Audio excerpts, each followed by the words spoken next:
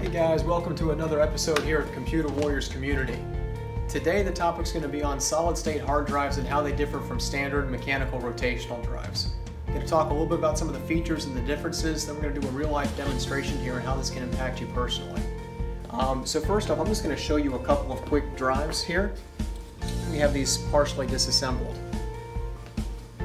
So on my right here, I guess it's your left, this is going to be a standard spinning drive.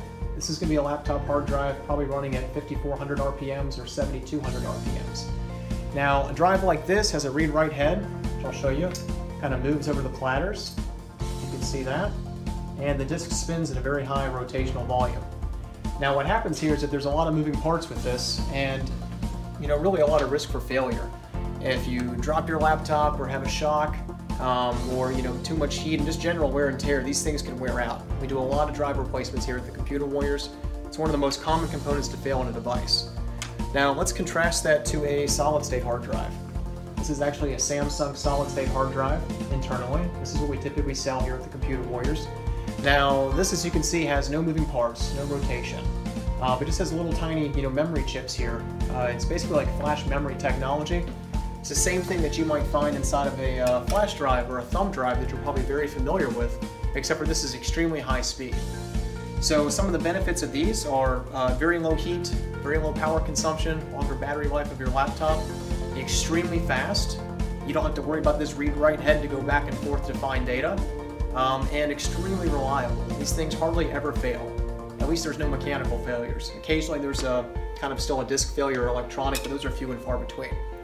Now, you may be hearing all that and say, okay, well that, that's great, but you know, how does this impact me? Well, what I'm going to do here is just demo two computers. Um, they are identical HP ProBooks that we have uh, for sale here at the office. The one on the right, uh, you're, you're right, I guess, and my right now, is a uh, 250 gig solid state hard drive, and the one over here on the left is a 320 gig mechanical spinning drive. So we're going to turn both of these on and see how they go. And I'm going to go ahead and start the stopwatch.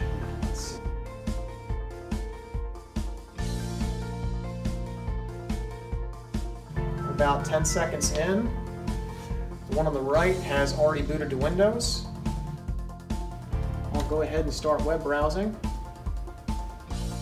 Okay, let's see here. We're already online. We'll go to a couple web pages.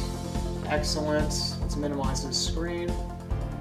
See the one on the left, we're at 31 seconds, 32 seconds.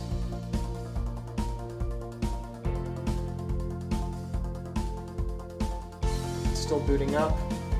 Malwarebytes is up. We'll open up CCleaner. And you get the point. We're still booting up. Let's see if we can shut this guy down on the right. And it may even shut down before the one on the left boots up. I'm to go ahead and stop this. So if you have a laptop that may be a few years old, might be running a little bit slowly, and this is kind of common, maybe about a minute for startup, think of what can happen if that drive was replaced with a standard spinning drive that's getting a little bit old with one of those solid state hard drives. It can mean a world of difference to your productivity and just your level of patience. Um, let you get the job done a lot faster. So that's it in a nutshell about solid state hard drives. Uh, I have them on every single computer that I own, every single computer we use internally here at the store for the employees. They all have solid state hard drives. I can't recommend them enough. Um, hopefully we'll get a chance to see you here at some point, but do keep this in mind. Um, there's very few computers that you can buy today that come standard with solid state hard drives. So if you go to a big box store and you're trying to buy a computer with one of these, um, you're just not going to find it too often. You will find them in almost every MacBook Pro, MacBook Air. Um, Apple realizes the value of these and they will put those in their devices, but you will be paying a premium. So come by the store today, come take a look. We'll see what we can do for you in terms of a solid state drive. And um, that's our topic today for Computer Warriors community. Thank you so much.